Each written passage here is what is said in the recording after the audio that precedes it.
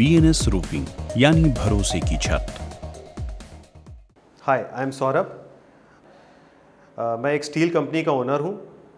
अ, मेरी कंपनी का नाम V N S roofing India private limited है। मैं आज आप लोग के साथ एक छोटी सी जर्नी शेयर करना चाहता हूँ जो इस कंपनी को लगाने में और मेरे एक्सपीरियंस के बारे में आपको बताना चाहता हूँ। मैं करीब स्टील में अपने फादर के साथ आठ साल से जुड़ा हुआ हूँ। हम लोग इस इस, हमारी कंपनी एक ये जेएसडब्ल्यू स्टील की यूपी की पहली सर्विस सेंटर है, जहाँ पर हम लोग किसी भी तरह का roofing, cladding pre engineered buildings customise solution देते हैं। हमारे सर्विस सेंटर की यूएसपी ये है कि हम 24 घंटे से 48 घंटे के अंदर आपकी कस्टमाइज नीड को पूरा कर सकते हैं।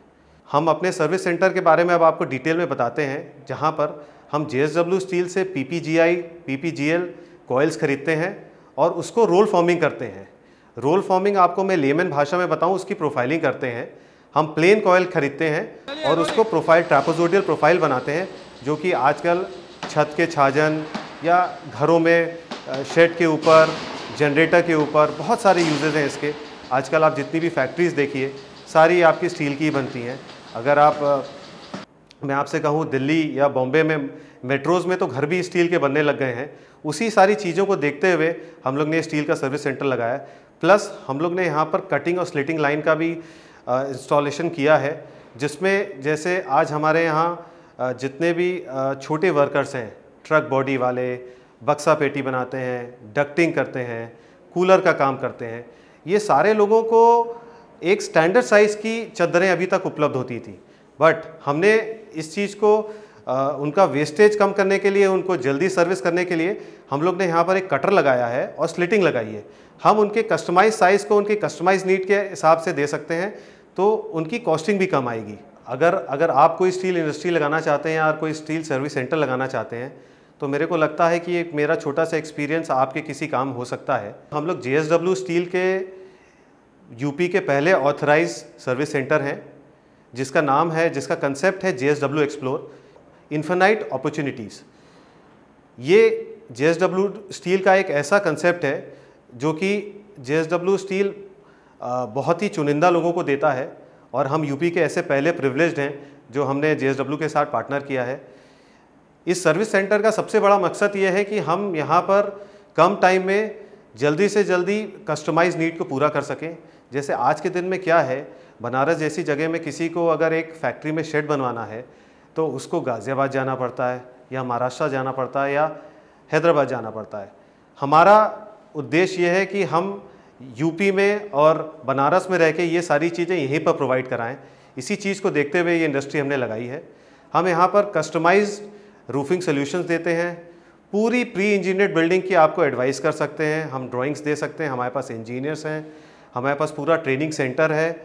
और हम साथ ही साथ जीआई सीआर गैल्वलूम के कॉइल्स भी मंगाते हैं, जिससे हम अगर कस्टमाइज ट्रक की बॉडी में जो स्टील हो सकता है यूज़ जो कूलर बॉक्सेस और बहुत सारी एसी डक्टिंग आजकल बहुत पॉपुलर है, जिसमें गैल्वलूम शीट होती यूज़ होती है। उसमें उसमें भी इन चद्दरों का यूज़ होता है, लेकिन हम आपको ये कस्टमाइज वे में दे सकते हैं। और आप आज, आजकल देखिए, आजकल जितने भी घर हैं उसमें भी कितना स्टील यूज़ होने लग गया है तो मेरे को लगता है कि स्टील का पोटेंशियल बहुत ज़्यादा है। ये सर्विस सेंटर हमारा जो है करीब करीब चालीस हज़ार स्क्वायर फीट में सिचुएटेड है, जिसमें हमारा फैक्ट्री शेड एरिया करीब करीब चौबीस हज़ार स्क्वायर फीट है कंस्ट्रक्टेड। मैं तो स्टील बैकग्राउंड से हूँ, बट अगर आपका बैकग्राउंड ये नहीं भी है तो मेरे को लगता है कि स्टील इंडस्ट्री आज के दिन में बहुत अपकमिंग है और आज स्टील को देख, स्टील कंस्ट्रक्शन और इंफ्रास्ट्रक्चर सेक्टर को देखते हुए, एनएचएआई हो एयरपोर्ट है इनलैंड वाटरवेज तो बहुत सारे इन्वेस्टमेंट आ रहे हैं यूपी में। मेरे को लगता है कि बहुत बड़ा पोटेंशियल है स्टील इंडस्ट्री के लिए यूपी आपको कुछ चीज़ों का ध्यान रखना पड़ेगा। जैसे आज मैंने अपनी इंडस्ट्री लगाई है, जहाँ पर हम लोग करीब करीब साढ़े तीन से पाँच हज़ार टन पर मंथ का प्रोडक्शन कर सकते हैं। इसके लिए मिनिमम स्पेस जो रिक्वायरमेंट है वो करीब करीब चालीस से पचास हज़ार स्क्वायर फिट की है, जिसमें कंस्ट्रक्टेड शेड एरिया हम लोग का, हम लोग का जो एरिया है वो करीब करीब पैंतालीस हज़ार स्क्वायर फीट का है, जहाँ पर हमारा शेड कंस्ट्रक्टेड एरिया करीब करीब चौबीस से अट्ठाईस हज़ार स्क्वायर फीट है। और इसमें हमने तीन तरीके की मशीन लगाई है। एक तो रोल फॉर्मिंग मशीन लगाई है, जिसको प्रोफाइलिंग लाइन कहते हैं। दूसरी लगाई है कट टू लेंथ लाइन जो कि कस्टमाइज लेंथ में आपको चादरों को काट के दे सकता है। तीसरी है स्लिटिंग लाइन जो कि चद्दर कट सकती है, उसको किसी भी विट में स्लिट कर सकते हैं ये तीन लाइन हम लोग ने लगाई है। और मैं आपको बताना चाहूँगा कि ये मशीनें इंडिया में भी बनती हैं। आज के दिन में जब मैंने लगाई थी, तब ये जापान और चाइना से ज़्यादा इंपोर्ट हो रही थी। हम, हमने एक मशीन चाइना से भी इंपोर्ट की है, बाकी दो तो मशीनें हमने इंडिया से ली है। लेकिन मेरा ये सजेशन है कि मेक इन इंडिया को देखते हुए आप लोग इंडियन मशीन लगाएँ। इंडियन मैन्युफैक्चरर्स बहुत अच्छी मशीन बना रहे हैं। हमने यहाँ पर जे की मशीन लगाई है, जो कि इंडिया की फाइनेस्ट मशीन है। यही सेम मशीन जेएसडब्ल्यू में लगी है। और जेएसडब्ल्यू के पूरे सपोर्ट के साथ हमने मिल ये मशीन लगाई है। मैं आपको एक बताना चाहूँगा कि जैसे अगर मान लीजिए आपको एक हज़ार टन का, एक हज़ार टन का सर्विस सेंटर लगाना है तो उसके लिए आप मान के चलिए कि कम से कम मिनिमम सोलह से बीस हज़ार स्क्वायर फीट की लैंड की ज़रूरत है और कम से कम पंद्रह हज़ार जिसमें बारह से पंद्रह हज़ार का एक शेड ज़रूरत है, क्योंकि ये जो मशीनें हैं, ये शेड में ही लग सकती हैं और जो इसमें फिनिश गुड होता है उसको आप बाहर नहीं रख सकते क्योंकि बरसात में और चीज़ों में उसका कलर ख़राब हो जाएगा और बहुत कोयल सारे डैमेज हो जाते हैं। ये इतना स्टॉक करना पड़ता है। तो एक, इस इंडस्ट्री के लिए मेरे को लगता है और फ्यूचर देखते हुए अगर आप इन्वेस्टमेंट करके लैंड बड़ी लेते हैं तो मेरे को लगता है अगर आप कोई स्टील इंडस्ट्री लगा रहे हैं, भले ही हज़ार टन की लगा रहे हैं तो आपको मिनिमम हमको लगता है कि 40 से पचास हज़ार स्क्वायर फीट लैंड के लिए इन्वेस्टमेंट करना चाहिए। फ़र्स्ट फ़ेज़ में आप भले ही एक छोटा शेड बना के, एक मशीन लगा के चल सकते हैं, जिसकी वाइबिलिटी बहुत अच्छी है और इसके रिटर्न्स भी काफ़ी अच्छे हैं। बहुत सारी ऐसी इंडस्ट्रीज़ गाज़ियाबाद में लगी हैं। मैं आपको बताना चाहूँगा, मैं करीब करीब बीसों इंडस्ट्री को विज़िट किया हूँ अपनी फैक्ट्री लगाने के लिए। बहुत छोटे से करीब करीब 30-40 लाख रुपए के इन्वेस्टमेंट से जिन्होंने चालू किया था। और आज एक नेशनल लेवल की इंडस्ट्रीज़ हैं और आज वो करीब करीब पचास हज़ार या लाख टन पर मंथ बना रहे हैं, जो कि हम लोग यहाँ पर यूपी में रह के ये सोचते हैं कि ये एक सपना है। बट जब तक आप उस चीज़ में ट्राई नहीं करेंगे, कोशिश नहीं करेंगे, मैं आपको बताना चाहूँगा, हमने हमारा हमारा फैक्ट्री का प्रोडक्शन करीब जनवरी से स्टार्ट हुआ था, जहाँ पर हम सोचते थे हम 100 टन करेंगे। हम ऑलरेडी आज 500 से साढ़े सात टन आराम से प्रोडक्शन महीने का कर रहे हैं, जो कि नई इंडस्ट्री के लिए 30 टू 40 परसेंट आता है, जो कि बहुत अच्छा है। तो मेरे को लगता है कि एक छोटी इंडस्ट्री भी स्टील में अगर आप एक ऑर्गेनाइज तरीके से प्रॉपर मार्केटिंग के साथ प्लान करें तो इसमें सबसे ज़्यादा ज़रूरी बात है कि आप मशीन अच्छे क्वालिटी की खरीदें और प्रोडक्ट अच्छे से अच्छा बनाएँ। चाइनीज़ मशीन ना खरीदें रॉ मटेरियल चाइनीज़ ना खरीदें अच्छे बायर हैं, जैसे टॉप लेवल के बायर हैं, जैसे जे है, इनसे रॉ मटेरियल ख़रीदें। और अच्छे देखिए कस्टमर आज के दिन में कोई एक घर का कस्टमर है, चाहे आप ही चाहते हैं, आप आप घर के लिए कोई भी सामान लेते हैं, आप चाहते हैं अच्छे से अच्छा खरीदें। अब मैं आपको एक ब्रीफ में, अगर आप एक हज़ार टन की इंडस्ट्री स्टील का सर्विस सेंटर लगाना चाहते हैं तो उसमें कितने कॉस्ट फैक्टर्स हैं, वो बताना चाहूँगा।